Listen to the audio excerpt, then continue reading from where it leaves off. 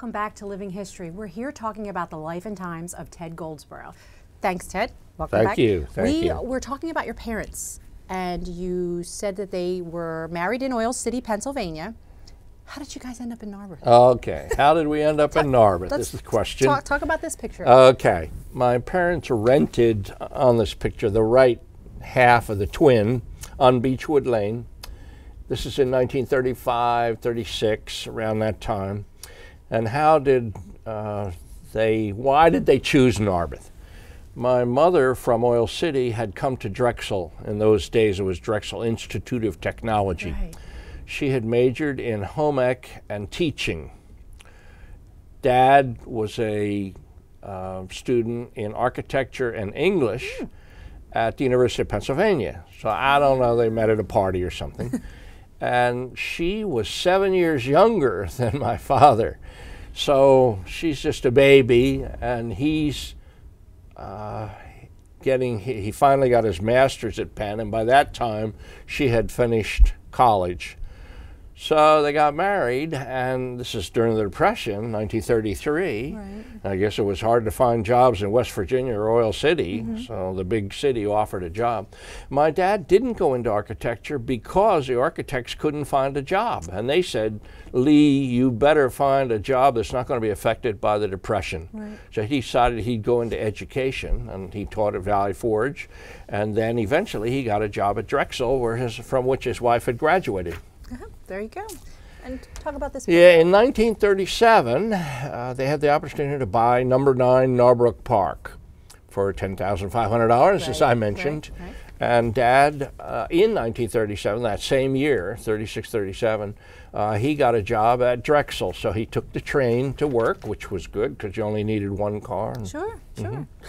This is beautiful. This is a painting that was done by one of our neighbors named James uh, Blunt Jordan. I think it was James Blunt Jordan, but he went by Blunt Jordan.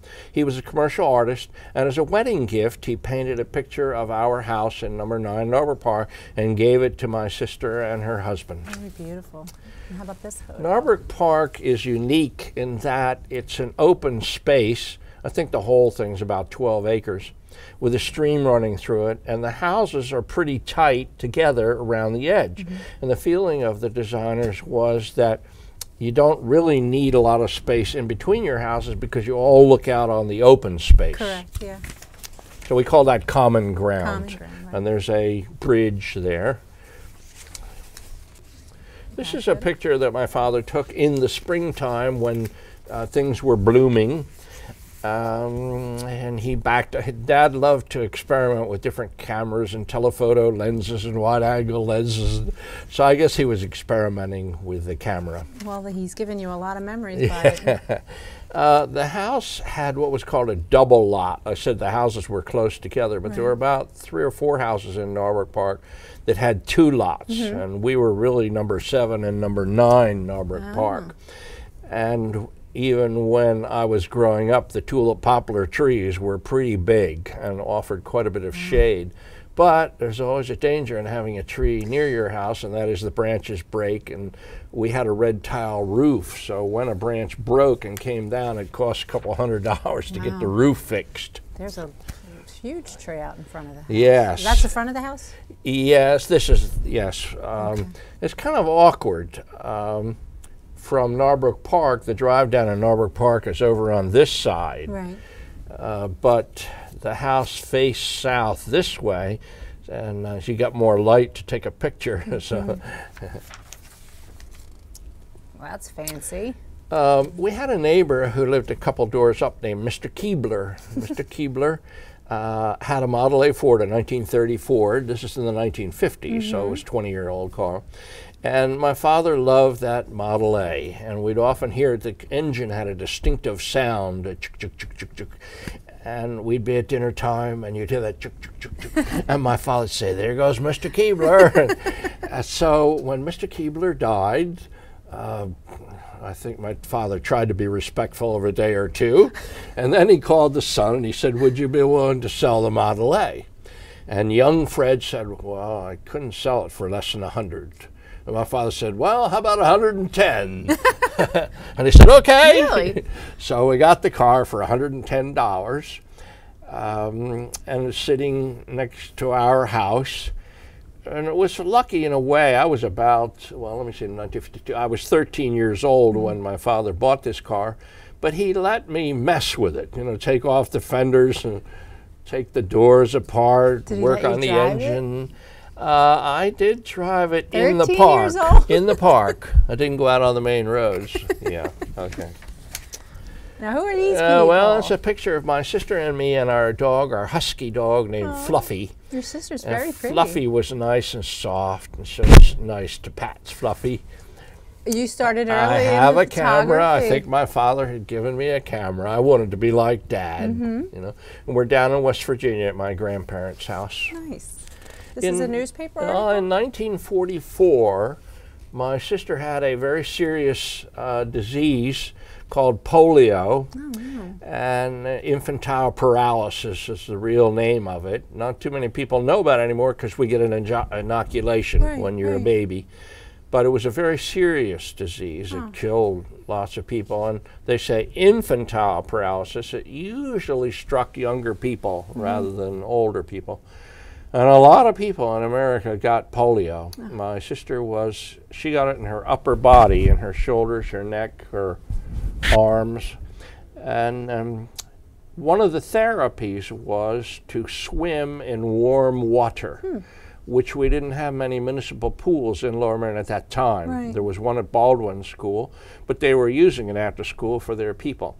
So as a result, um, people in the Philadelphia area went to a YWCA in Norristown, and my mother drove. My sis- of course, she my mother was babysitting me after school, and we took another person in Narberth called Louise Hoffman.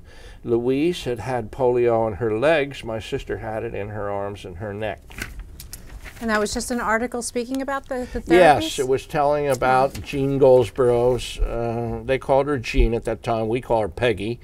Uh, it says 10 year old Jean Goldsborough, pictured in the upper right, contracted polio October 10th, 1944, and was stricken so badly that she lost the use of so on and so forth. Oh.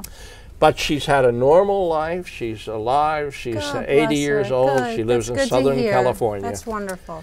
Uh, this is a picture of me and Fluffy and Peggy, and we don't know who this young child is, and then a, a girl named Jean Pat McKenzie who lived in Narberth. Another picture, this is one of the few pictures that I have of most of the kids my age, within a year or two, who lived in Narberth Park at the same time I did. And it's, it's you know, you lived on Homewood Avenue. Were there kids that you could play with that were about your age? Mm-hmm. Yes. But if you didn't, then you'd just be one or two kids, and it wouldn't be as much fun. Mm-hmm. No. So these were the kids that I played with, and, Ah, and we played lot of you. football, and yeah, there were a lot of us. And um, most of us stayed living there the whole time. Now, John Barnes moved back to Penn Valley, and Doug Meal moved out to Chicago, but all the rest of us were there my whole childhood. Wow, how nice is that? Stability. They- exactly, Yeah. exactly. Talk about this, Matt. Well, uh, Narberth School, I wanted you to know where Narberth School was. So it was the corner of North Essex and Sabine. right. It had two buildings and it had a playground. The playground wasn't too big, but it was big enough for our uses for an elementary school. Right, That- and that- is this the bu- newer? yeah, this photo it was a postcard shows the two buildings, and the building that's closest to you was built in 1917 Okay. and then the older building is the 1892. Uh, when I was in school, the kindergarten through third grade, K1 to 3, was in the 1917 building, and underneath that was a gymnasium. It- under, underneath the building? Underneath the building, but they did a pretty. The architects did a pretty smart thing. They put half windows on the the bottom floor, so even though you were down in the gym, there was Ah. You'd some have natural, light. Uh-huh. Right, right. So talk about this picture up on the playground at Narberth School. Okay, we're at Narberth School. One of the well, the, the phys ed teacher named Mr. Wetherill. We didn't have a full size field, so it was difficult for him. We, we couldn't have a track. We didn't have soccer. It was difficult. What do you do with the kids? Sure. So one of the ideas that he had was I don't know what you call it. It wasn't tumbling, but it was like human pyramids. Pyramids. and we stood on each other's shoulders, you know, the big kids on the bottom, and you kind of held held on, you know, shaking a little bit, and it was hard getting down because you're way up on top of Oh. somebody's shoulders. But it was kind of impressive for, Yes, for eighth absolutely, graders. absolutely. Okay. okay. Well, Uh, I was a Boy Scout, as many of us were in Narberth. Mm-hmm. Uh, we didn't have Resica Falls, which is up in the Poconos in those days, or at least I wasn't aware of it. So we went to something called Camp Delmont, which was in Green Lane, Pennsylvania. I don't know where Phoenixville, or I don't Mm-hmm. know where it was, somewhere. Uh, Perkiomen up that way. And this, these are Narberth kids. oh, nice, nice. Oh, My family, on both sides, coincidence, were both Episcopalian, uh, mother and father. So my sister and I were raised in the Episcopal Church, which happens to be All Saints Episcopal at Wynnewood, uh, in Wynnewood Road and Gypsy Lane and Montgomery Avenue. This is my best friend in my childhood, Don Irvine. His father was the choir master of the choir that he and I sang in. okay. Uh, I went to Ardmore Junior High School, and over the door was enter to learn, go forth to serve. And many of us who went through the Lower Merion School District remember that enter to learn, go forth to serve.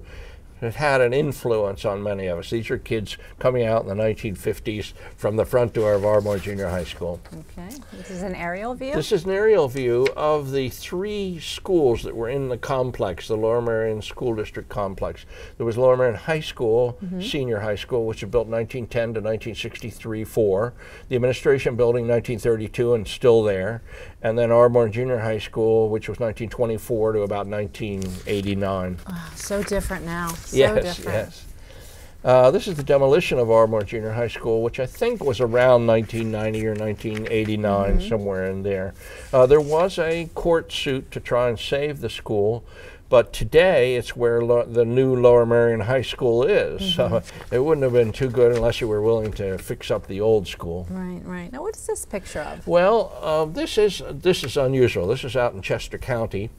It's of a country store where we used to stop when we were camping. We'd take the Model A Ford and we'd go out and camp in the in the woods there. and uh, this was an old time store, and we loved to stop in that store in Eagle, Pennsylvania. All right, now talk about Yeah, this this is. Ted uh, in high school, shining my 1938 Ford, uh, 1930 Ford, my Model A. This is the one your dad bought from the neighbor? Yes, the neighbor for $110. and um, dad had had it repainted, and uh, the, they did a lousy job. It was like a you know, $35 job or something. It didn't work out very well. But for a few times, you were able to shine it before the paint came off. Okay, there's an article. Well, I was very lucky in that I wasn't much of an athlete. And um, in high school, my dad had said that he had run track. I thought, well, I'll try it. And I wasn't much good at a sprint, but if you had me long distance, you know, run from here to Bala Cynwyd, okay, I can do that. so I ran cross country, which often in those days was running in the streets. It was pretty dangerous. We were competing Right, with cars right, and dodging sure. things. Uh, but in my sophomore year, there was a wonderful runner named Sidney Dowse and Jay Kirby. And they were so good that we won the districts over in Upper Darby. We ran on a golf course over there in Upper Darby. And then we got to go to the States, and I ran in the snow at State College. Wow, how impressive. now it's time to wrap up. Well, Ted, thank you so much for coming in and spending time with us. This is going to do it for our Living History special with Ted Goldsborough. We're going to come back and do another show with him. Thanks ah, for watching. Thank you. Thank you, Carol. Thank you so Thank much. you.